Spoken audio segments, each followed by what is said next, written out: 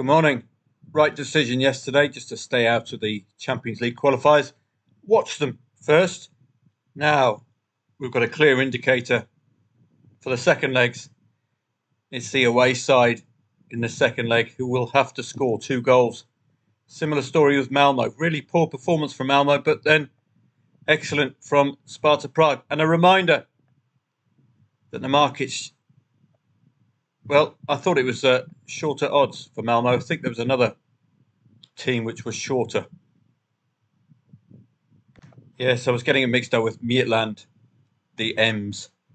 1 1 for Midtjylland. Did Slovan, Slovan Bratislava score first? If they did, that was a possible angle.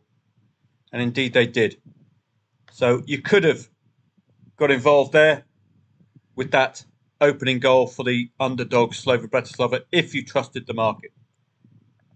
But it's going to be fascinating second legs. That's what I'm looking at next week. The second legs. Now we have handles in. Dinamo Kiev must win the second leg. Malmo must win the second leg. Midtjylland, Slovan, Bratislava. The suggestion that Midtjylland could come from behind gives us an angle for the second leg. If Slovan score first, young boys will be absolutely delighted. They've been a very strange side, starting the season incredibly badly. Was the red card impactful? No, it wasn't, which makes this even more impressive. Albeit the winner was a penalty. And here comes the cat, who's obviously a big. Yeah, the cat was just saying, very impressed with the young boy's performance. Yeah, yeah, I agree. Yeah. Yes, totally. Yeah. But it was only a penalty, Pussycat. So that's impressive. The red card did not impact the scoreline. Galatasaray, I think, at home would have it in them of the categories as well.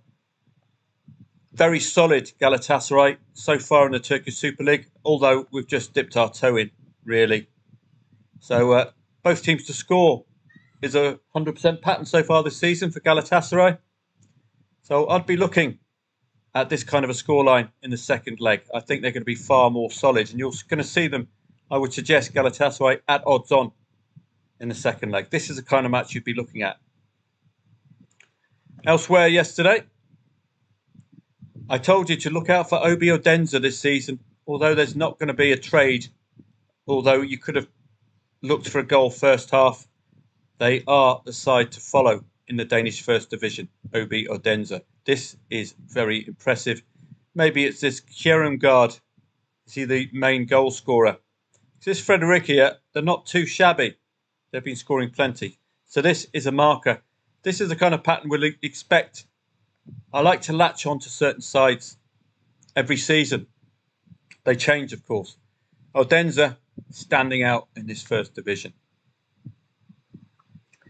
Elsewhere, well, this was a winning trade for us yesterday. I hope you got involved.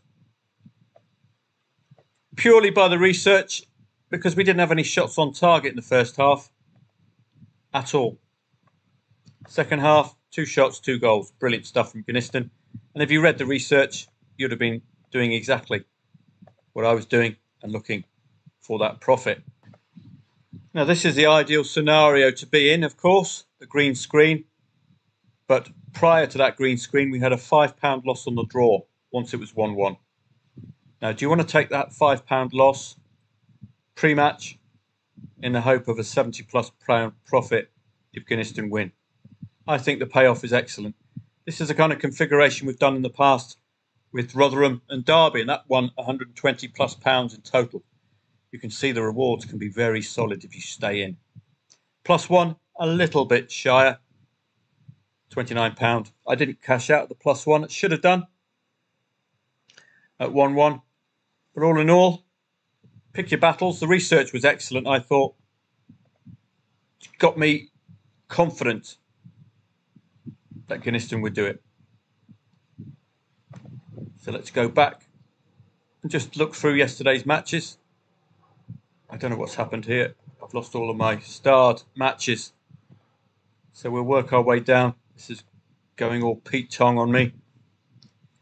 I was going to mention Sweden. Just a reminder to you, odds and goals.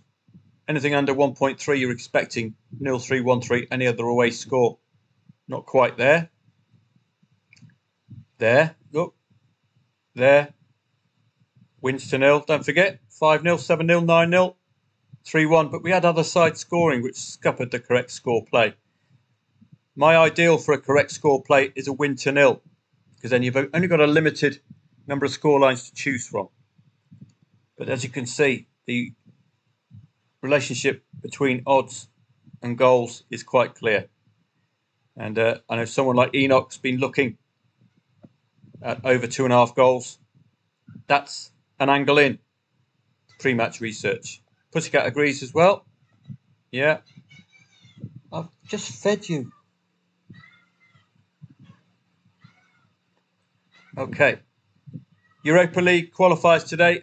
It's a lot more robust coupon today. You know how I don't like first leg qualifiers. It's the second leg where we'll get the handling and we'll see whether the market got it right. Okay. So we've got the Europa League qualifiers. Yeah.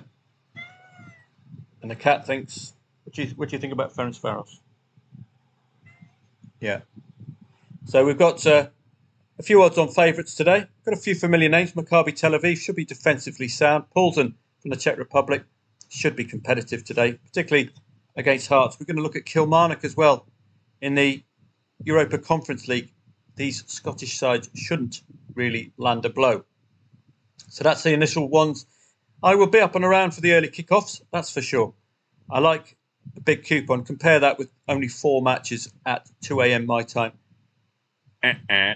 As Les Dennis would say, I'm not going to get involved. English League Two today. Very little for us to work off, isn't there? But I've done a little bit of uh, research for you. Notts County odds on favourites. So far in League Two, a nil-nil draw and a 2-2 draw for Notts County. So they're getting a little bit desperate. They could do with a win. Uh, Grimsby Town lost 1-0 against Fleetwood away and beat Cheltenham 3-2 at home. So very little for us to work off. I don't know if there's any head-to-heads. 5-5 the last time these two met. 3-2 before that. You're going to go for over four and a half goals today? We will see. Really competitive. Last two head-to-heads. Fantastic stuff. I would be laying a late draw here, given Notts County had two consecutive draws. Be looking, I think they'd be looking as well for that to end positively. Europa League, Conference League qualifiers. Again, similar story. First legs today. Lots and lots of familiar names. Legia Warsaw. Brann from Norway. Djurgården, who've been pretty good in Europe so far. FC Copenhagen, as reliable as they come. I think, did they get us another trade at the weekend? They're playing Kilmarnock today. And I think Kilmarnock are going to be outdone. Remember, Copenhagen have a very good Champions League pedigree playing against far more accomplished sides than Kilmarnock. No offence to Killy fans. Fiorentina really should take the Hungarians to town with home advantage. So there's some good stuff this evening. Chelsea are playing Servette as well. So uh, this will be a good opportunity for Chelsea to get the first win under their belt under the new manager. I don't know why they got rid of the old manager. They ended last season incredibly strongly. But uh, that's football for you. Lens. This market is playing Panathinaikos. So I will be up and around for the early kickoffs, but as I say, it's it's in the second legs that we have our real angles. This is a fascinating fixture in the cup. Uh, two of the likely title contenders. No wonder it's 2.62 the favourite. It's going to be a very tough one to unpack. So moving on down, it's just predominantly Europa League, Europa Conference League this evening. That's the dominant. And uh, I would caution you to look for Arka Gdynia. They were a very tradable side last season. So uh, looking at the Polish First Division today, just uh, tentatively in the in-play stats, see whether we can get a handle on that or not. Swedish Cup continues, and don't forget the relationship between short odds and three plus goals. So you can try try that out this evening. So that's it. We're getting ever nearer to the US Open as well. But certainly my focus this evening will be solidly on the tennis. Still in the qualification mode. So uh, Diego Schwartzman is a standout there. I don't know if these uh, qualifiers are as per the actual Grand Slam, i.e., the best of three sets for the men. I'm not too sure. Maybe a bit later on. Lucas Pouille has to go through a qualifier, which is a big name for a qualifier. Quentin Halys as well. So uh, a few familiar names. Ladies as well. Not sure of any of these lot. Don't know them too well. We've got a Thai player, Soan Kyo. I'm going to have to uh, follow her today. She's probably the best tennis golf uh, tennis player in the world. Really, that's uh, part of my Thai visa conditions. So I'll see you uh, a bit later on. The probable start six o'clock. Looks like a uniform start time. Five o'clock. Yeah, okay. I'll be there five o'clock onwards. Um, again, there's a good volume of matches, and when I, when we have a larger volume of matches, we've got more to choose from, of course, so we can pick quality plays. So that's the advantage, particularly on a Saturday. You've got so many matches, you can pick. You've got better quality trades, and you can avoid others. This market has been suspended. So I'm looking forward to that. See you from five o'clock onwards. And if there's anything in the Polish First Division at four o'clock, I'll pass that on to you. Have a great day.